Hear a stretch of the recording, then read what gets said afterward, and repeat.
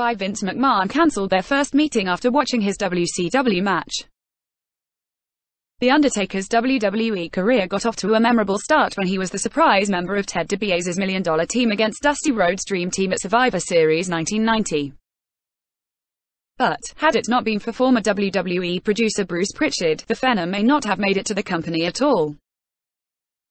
Pritchard revealed on his Something to Wrestle With podcast that Vince McMahon wanted to talk to Taker, then known as Mark Calaway, about joining WWE but cancelled a pre-arranged meeting after watching a lackluster match that he had with Lex Luger at WCW's Great American Bash event in July 1990.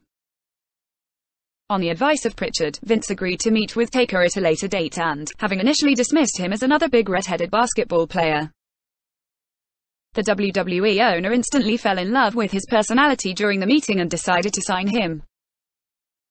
4. He considered retirement in 2000. During an interview with NBC in August 2000, The Undertaker revealed that he considered retirement earlier that year after struggling with groin, abdomen and pectoral injuries.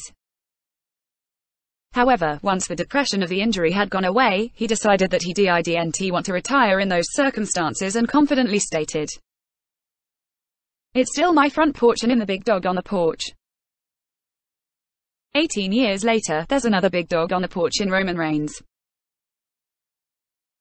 But Taker is still going strong and his legacy as one of WWE's most iconic superstars is well and truly cemented, something that couldn't have been said if he retired in 2000.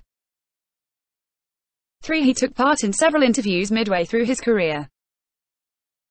Unlike his colleagues, The Undertaker has stayed away from the media spotlight for much of his career, so much so that we dedicated an entire article to rare Taker interviews just a few months ago, and fans still don't have much of an idea what the man behind the character, Mark Calaway, is really like. The only time we got to see the real-life side to Calaway on a consistent basis came during his days as the American Badass character when he took part in several interviews and talk shows to promote WWE. Would his legacy have been destroyed if he conducted interviews like that for the rest of his career? No, so you'll have to allow us some leniency with the headline for this section. But it's fair to say that the aura that still surrounds the deadman to this day would have been somewhat tarnished if he cropped up on the media circuit every month like the rest of the roster. 2. The streak could have ended a lot earlier. Some would argue that The Undertaker's undefeated streak at WrestleMania came to an end too earlier should NT have ended at all when he lost to Brock Lesnar at WrestleMania XXX in 2014.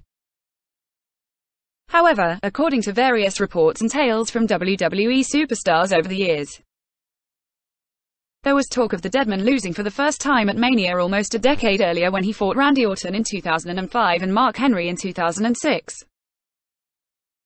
But neither man wanted to be the one to defeat him. It's worth remembering that the streak only started being mentioned in WWE ahead of the match with Orton at WrestleMania 21. So Taker's legacy at Mania would definitely have been tarnished if he lost just one or two years after the streak became an annual talking point. One Vince McMahon almost gave him a terrible gimmick. Former WWE creative writer J.J. Dillon revealed to Fightful.com in 2017 that Vince McMahon was impressed with Mark Calaway's charisma when they first met and his initial gimmick idea was to have the Texas native dress as a Viking and wear a helmet and horns. Fortunately for Calaway, he was given the gimmick of The Undertaker instead, while John Nord aka The Berserker signed with the company in 1991 and took on the Viking persona. If you enjoyed this article, be sure to subscribe.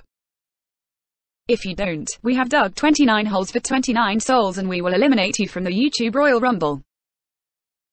You have been warned.